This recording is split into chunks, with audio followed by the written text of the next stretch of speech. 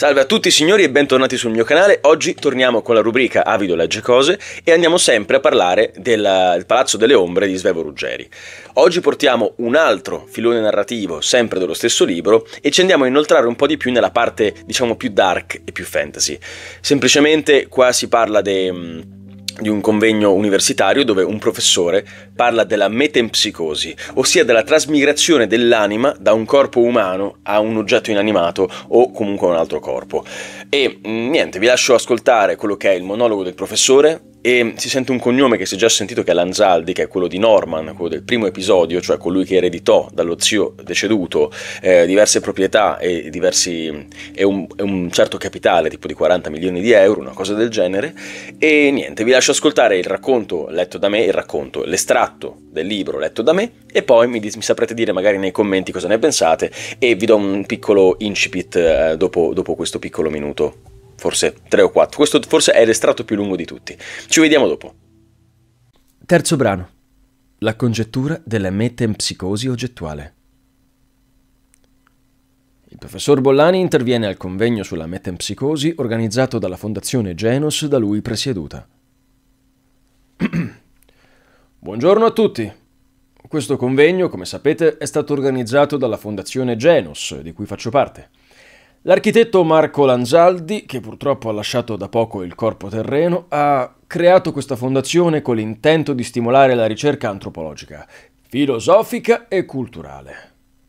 Conclusa la parte accademica, ciò che andrete ad ascoltare da questo momento in poi non è da considerarsi come qualcosa di acclarato, né ha la velleità di diventare argomento universitario, almeno per il momento, bensì ha un valore di congettura, e mi auguro sia per voi affascinante almeno quanto lo è stato e di fatto lo è per noi.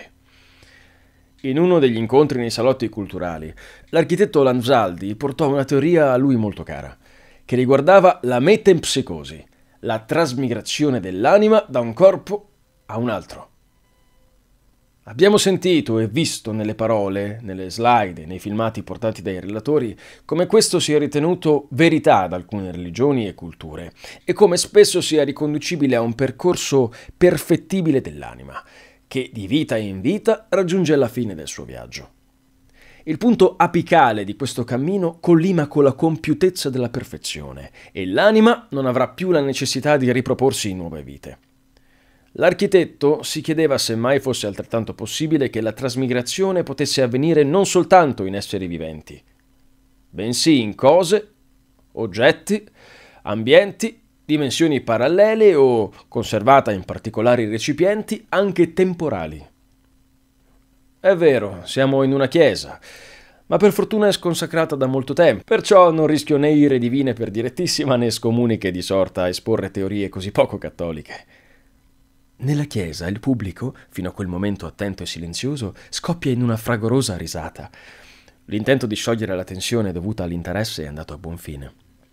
Ora il professore avrà ancora più attenzione dagli astanti, provati da un convegno durato alcune ore. Se tutto ciò fosse possibile, sarebbe spiegato il perché si ritenga che alcuni oggetti siano maledetti, non si tratterebbe dunque di sortileggi maligni a opera di fantomatiche fattucchiere o stregoni, bensì del peso dell'anima di tutti i possessori di quegli oggetti nell'arco di anni o secoli, che li hanno amati, bramati e di cui ne sono rimasti in un certo qual modo soggiogati. Credo sia noto a tutti, per esempio, la storia della maledizione del diamante Hope, custodito presso lo Smithsonian Museum di Washington, che ha visto la fine tragica dei suoi possessori morti per assassinio, malattia o suicidio. E se non si trattasse di una maledizione, bensì della sua capacità di catalizzare l'avidità e la bramosia di anime corrotte della sua bellezza e del suo fascino? Se esso stesso fosse capace di nutrirsi dell'energia vitale dei suoi possessori nell'arco dei secoli accrescendo la sua proverbiale magnificenza? State tranquilli, non è affar vostro. Non potreste mai trovare una somma sufficiente per acquistarlo, nemmeno mettendo insieme i risparmi di quattro o cinque reincarnazioni. Anche in questo caso il pubblico presente si rilassa in una nuova risata. Avete mai sentito le leggende su Cadario a Venezia? Anche in questo caso sembra esserci una maledizione che colpisce tutti i proprietari, destinati a morire di morte violenta o per suicidio. Nessuno riesce a godersela fino in fondo in questa vita, eppure è meravigliosa e si affaccia sul canal grande. E se le anime dei suoi proprietari albergassero ancora lì? E tutte le case infestate di cui è piena la letteratura e i film dell'orrore, ma spesso e volentieri anche un certo tipo di cronache?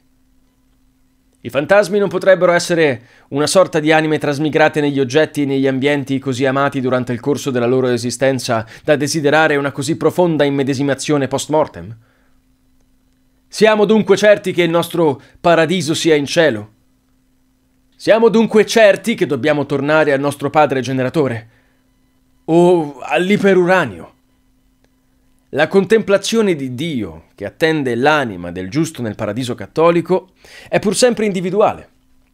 Se fossimo tutti morti e giusti e perciò accolti in paradiso, saremmo individui celesti, non parte di Dio, ma in contemplazione del divino. E dunque, se questa individualità indipendente, che corrisponde alla nostra anima, avesse la capacità decisionale di indirizzarci dove desidera, sia che siamo giusti, miseri o malvagi, se davvero potessimo avere la capacità di scegliere il nostro specifico paradiso ove risiede in eterno. La platea è silenziosa, non si muove una mosca e non si sente nemmeno tossire. E ancora, siamo certi che quando leggiamo di un disastro aereo che ha devastato le vite di 200 persone che stavano andando in vacanza da qualche parte, abbia davvero arrestato il viaggio compiuto dall'anima dei suoi passeggeri rapite in cielo o giunte a destinazione per divertirsi per sempre.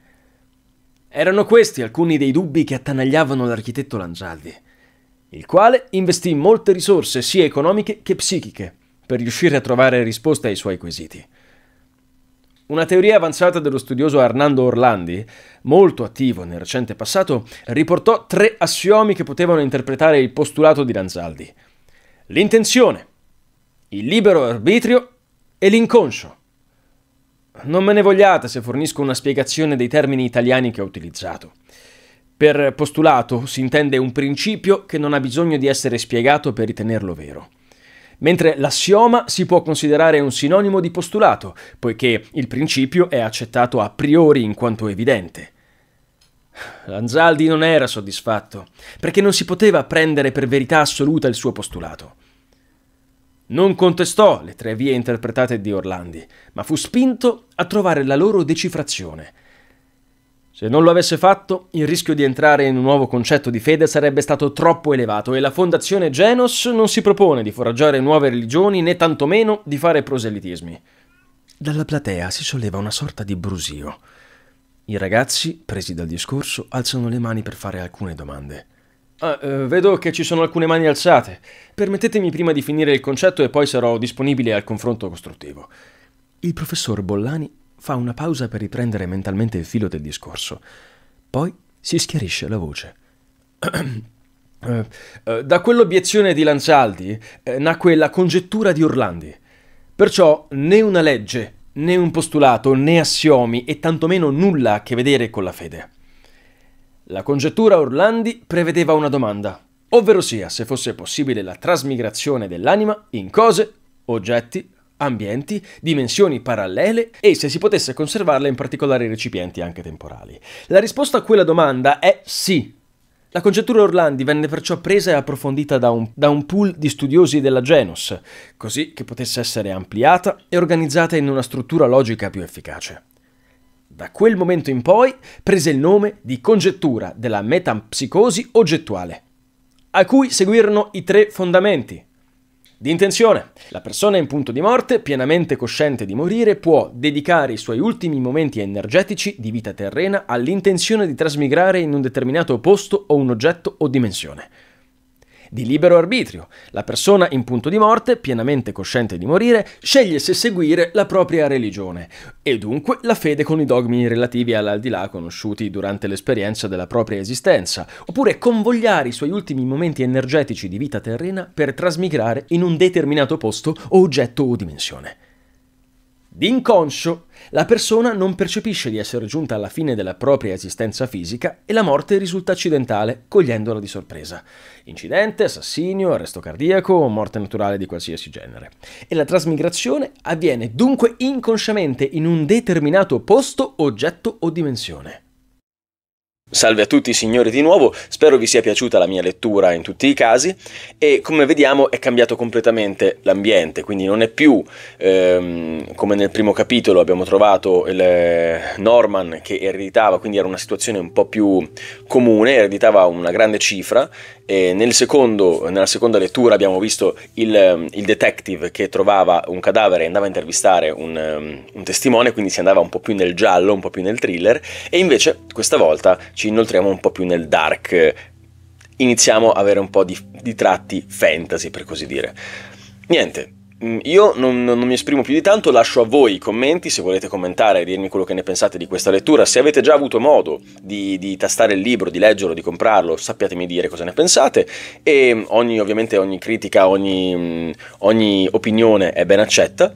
E niente, ci vediamo in questi giorni, ci saranno altri due video che usciranno, uno o due video, io non mi ricordo mai, non sono incapace di, di contare, comunque se sono uno o due lo scopriremo molto breve. E niente vi ringrazio e chiaramente vi ricordo di iscrivervi al canale mettere mi piace commentare tutti i video che volete tutti i video che potete sempre mettere mi piace commentare e iscrivervi al canale e vi ricordo anche che se volete potete iscrivervi su Instagram e quindi mh, mm, seguirmi. Scusate e vi ricordo anche che potete seguirmi su Instagram e su TikTok, in modo che iniziamo a crescere anche su altre piattaforme, non soltanto su YouTube. E ehm, niente, vi voglio un mondo di bene, grazie a tutti, grazie soprattutto agli abbonati che sostengono il canale e ci vediamo molto presto con altri video di, di Avido Legge Cose, quindi il book blogging. Ciao a tutti signori, un abbraccio.